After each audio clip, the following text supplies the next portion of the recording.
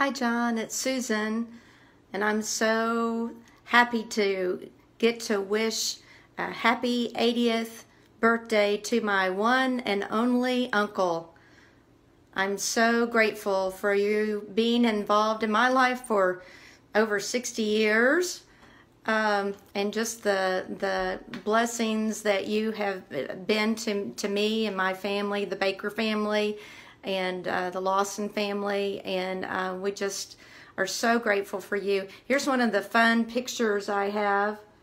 I don't know if you can see it there of uh, one of the kind of the first memories I have of you of being the flower girl, and Kent was the ring bearer in your wedding, and uh, I have it up because it just reminds me of uh, of being involved in that special occasion of y'all's life and um, uh, just being able to see uh, y'all model a wonderful Christian uh, marriage for me and, and Kent and uh, uh, and give, giving us um, um, some milepost and guidance in, in that respect. And we just we're just so happy about that. We're happy that that we're able to celebrate with you. So um, thankful to think about all of the times of uh, following y'all around the country from um, Louisville to Houston to uh, McLean, Virginia, and Greenville, and back and forth, and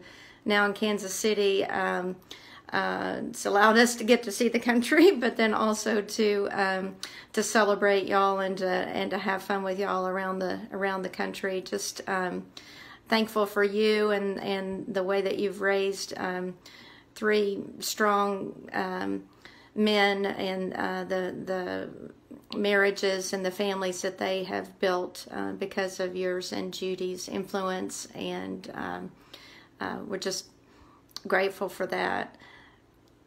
Happy birthday, John.